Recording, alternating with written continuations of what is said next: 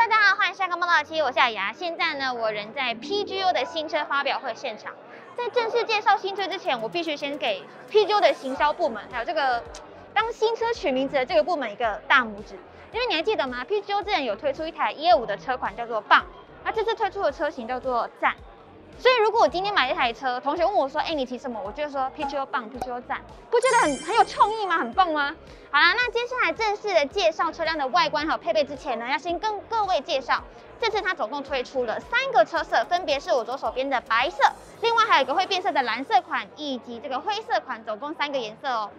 至于版本的部分呢，这次推出两个版本，分别是 ABS 版以及 VCBS 版。哎，这时候你就会好奇，为什么是 VCBS？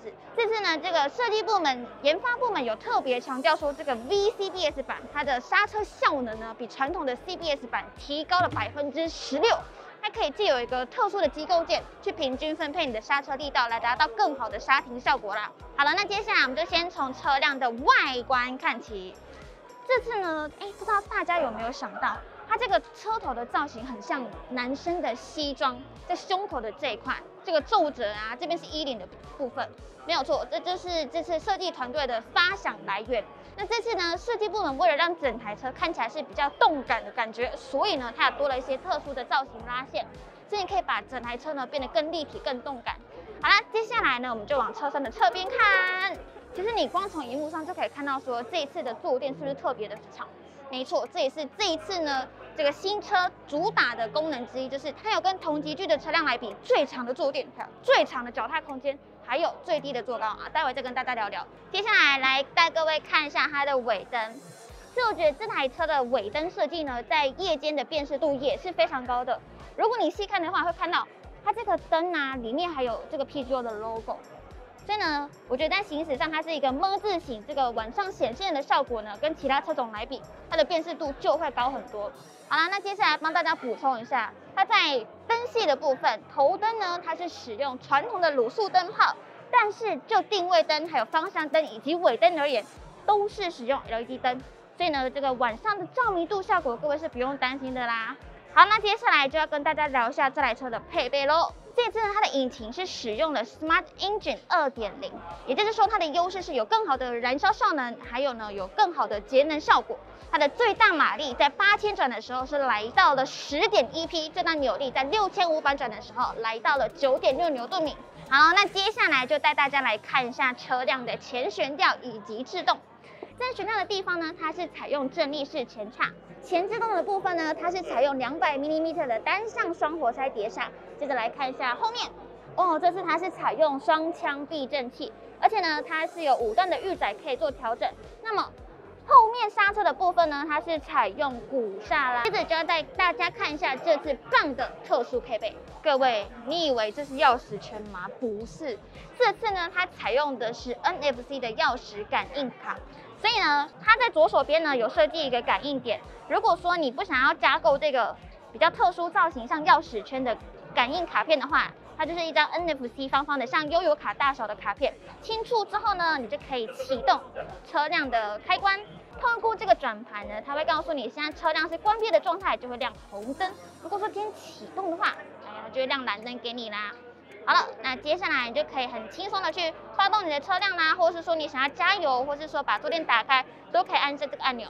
接着我们透过镜头来看一下车辆的仪表，这个仪表呢跟 PGO 的 Spring 是同一颗的，所以呢它是 LCD 的显示荧幕搭配 LED 的这个气氛定位灯。同样，这颗仪表也可以使用 PGO Go 这个 APP 来做连接，里面呢就可以显示你的车辆资讯啊，还有你上次保养的详细内容。甚至你可以依照自己的心情来做这个光圈、光色上的调整哦。所以你今天心情好，就调个粉色；如果今天心情不好，就调个蓝色。这样的人性化，就看你自己想要怎么调整哦。好啦，讲完仪表，当然也不能忽略实用性的配备啦。这台车有没有办法边骑车边充电？有的，充电口就在你的开关转盘的右手边。这里有设计一个 QC 三点零的快充。而且呢，它有设计一个防水盖，如果你担心下雨天会进水打湿的话，那就是把它塞起来喽。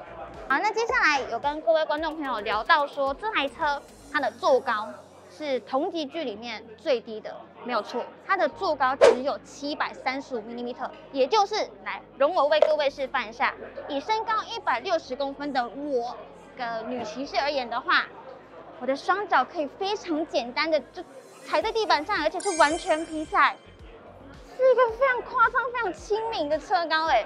所以就算它的外形是比较偏向男骑士的，但是各位女性朋友们，你也不用担心说这台车高你没有办法驾驭。你看。我就展示给你看了，我的脚有办法完全触地，所以不用担心，好吗？好，接下来如果今天你骑乘过程中，你把脚收上来了，你的脚距离你的车龙头大概还有一个拳头的大小，所以这边的自脚空间的区域是非常足够的。同步呢，后面这边超级长的坐垫，所以就算你今天骑着这台车出去旅行，后面背一个超级大的背包。你还是有非常足够的空间去做前后的移动，而且都不会有压迫的感觉。简单介绍到这边，各位，你觉得这台车只能否你通勤代步吗？错了，这台车呢，在原厂设计方都贴心的帮你想好，它可以让你骑去，比如说露营啊，比如说去旅游啊。你觉得这样子的置物空间不够你在，没关系，你也可以选择加购一个后货架。那如果说今天呢，你不想要做出远门的动作，你只想要让它很简单的。